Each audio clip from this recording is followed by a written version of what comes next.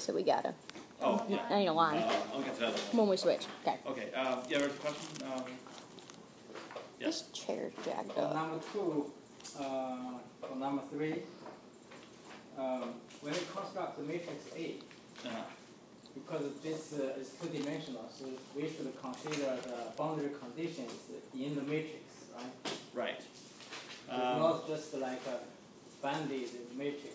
Um, it's, uh, well, actually, it's, technically it's banded, but it's best to think of it as, uh, like it's described in as a Kronecker product of a tridiagonal matrix with the identity. Um, so what happens is, uh, for part of the Laplacian, okay, so you have, um, this is from to part C, you have your Laplacian is second derivative with respect to x plus second derivative with respect to y applied to u um, equals zero. And um, so what happens is for part we have the uh, second partial derivative with respect to x, you have your um, second derivative.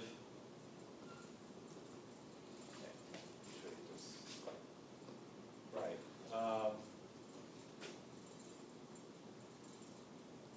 the identity product would be uh, matrix for second derivative, whereas for second with respect to y is the Kronecker product in the uh, opposite order.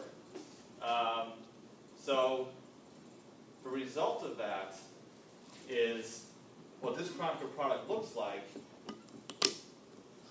is this, this second derivative matrix all the way down the diagonal.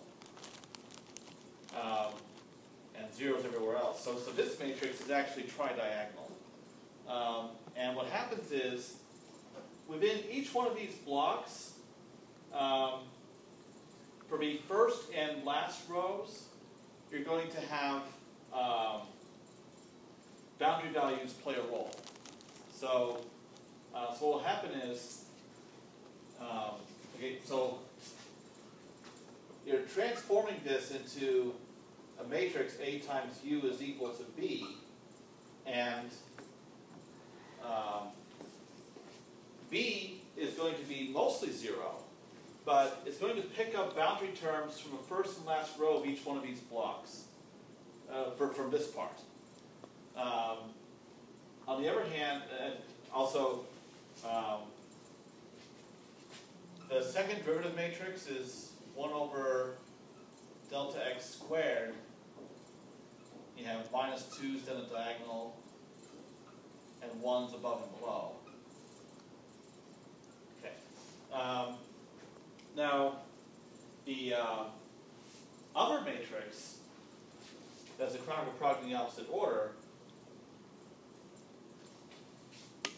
is going to be structured this way.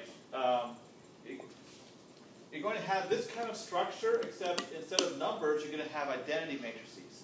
So you'll have okay, 1 over delta x squared minus 2 identity all the way down a diagonal.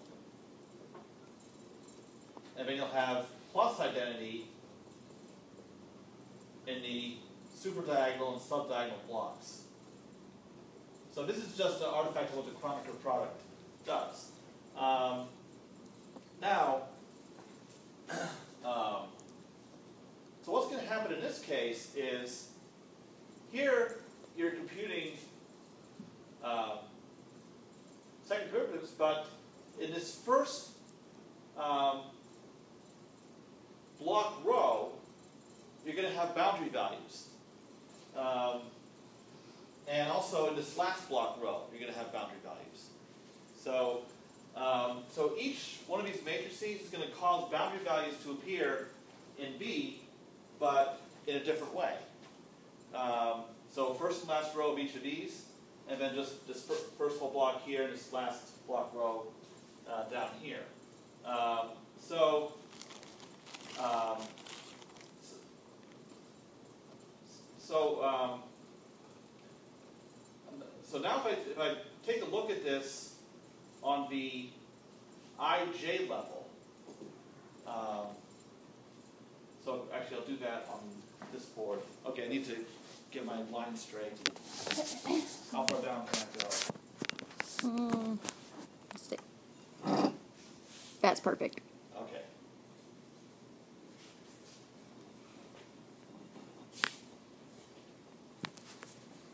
Actually, I'm not feeling so good about this marker, but I'm prepared. Okay, so, um, so if we index the rows as follows, we have x1, y1, x2, y1, so forth down to x and y1, and then we start over again with y2,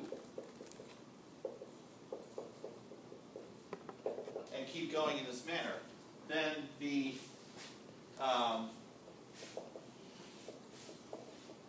equation in this row, that's going to be j minus 1 um, j minus 1 times n plus corresponds to xi yj. Um, so if I write this equation out entry by entry, it will look like this. Uh, we have um, 1 over delta x squared. Uh, so this is for the second derivative with respect to x up here. So we have i minus 1 j minus 2 u i j plus u i plus 1 j. Oh, okay.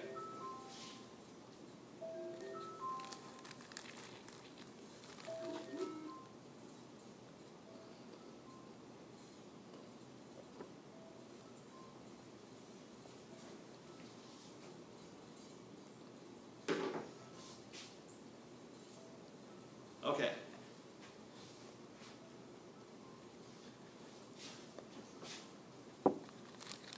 Um, uh, at this point, I'm talking about uh, problem 2C on the homework. Um, and I have a previous board that I'll show you that previous board in a moment. Uh, but all this is being recorded too. Okay. Alright. Okay, so here we have second derivative with respect to x. And um, and then we have second derivative with respect to y, where the i index is going to be fixed and the j index is varied.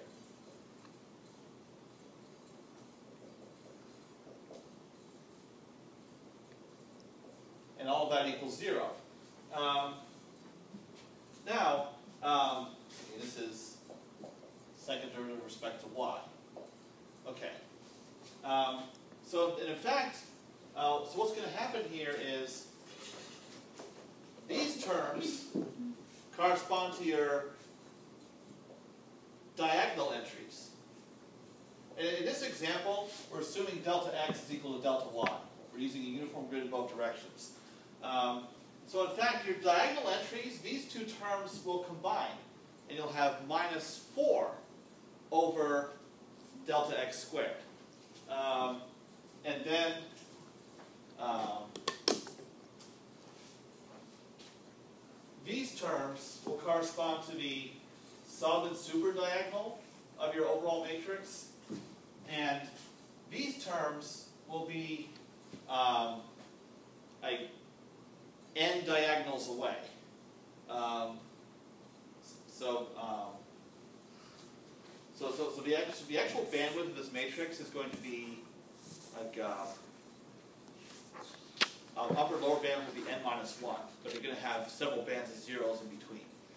Um, okay, but you're going to have this equation in every row, but what's going to happen is you're going to have boundary terms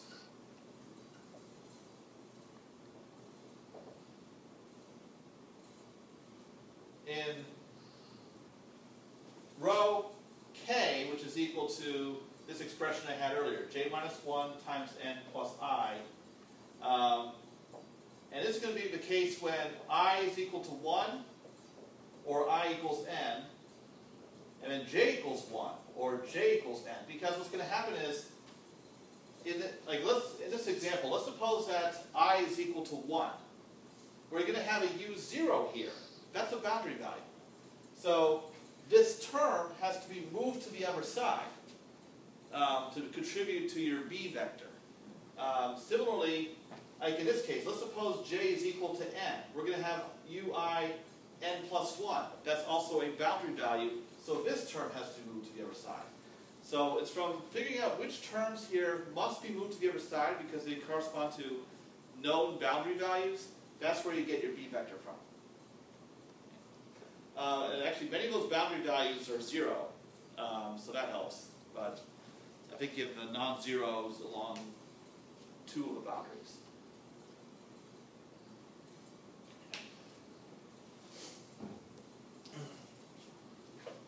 Um, so to give you a snippet of what your overall matrix looks like, actually, this marker's not doing so well either.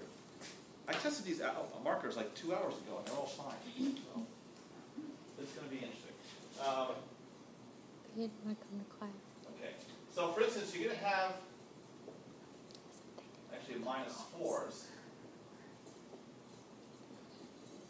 on diagonal. And we have a 1 over delta x squared up front, and 1s immediately bel- above and below. And then further down, like um, here we have row 1. So in row n plus, in column n plus 1, we have a 1. And then uh, this is a n by n block. And then we have another one down here. Um, okay. Um, and we have additional, so we have another band of ones over here, another band of ones over here. And then in this second diagonal block, it's like the 2-2 block, we have the same pattern as before. Okay.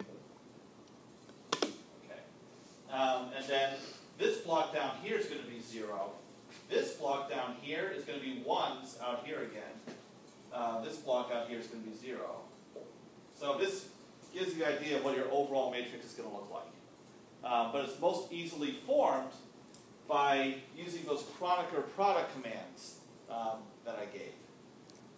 Uh, but it's good to have a feel for what the overall matrix looks like so you can see and look at it this way to see, okay, where your boundary term is going to come from. How are you going to get your B vector? Um, actually, does someone have a problem? Do you have a problem in front of you? Oh, see the, yeah, the, the boundary conditions.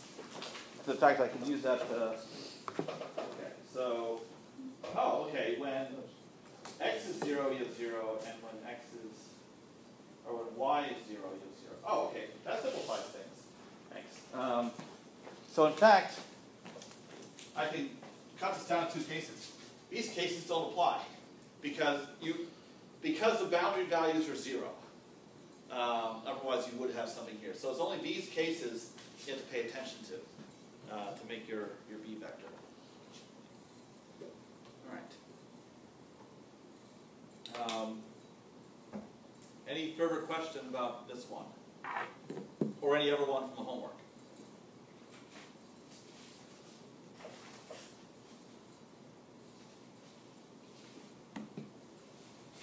Homework number three, Yeah. second, the second one. Uh, can you explain a little bit more about the B pattern? Oh, You um, need to solve AX instead of B. You suggest you solve AX equals B pattern. oh, oh, for problem three. Okay, yeah, okay. Um, yeah, so, um, okay, actually, go to the board for that.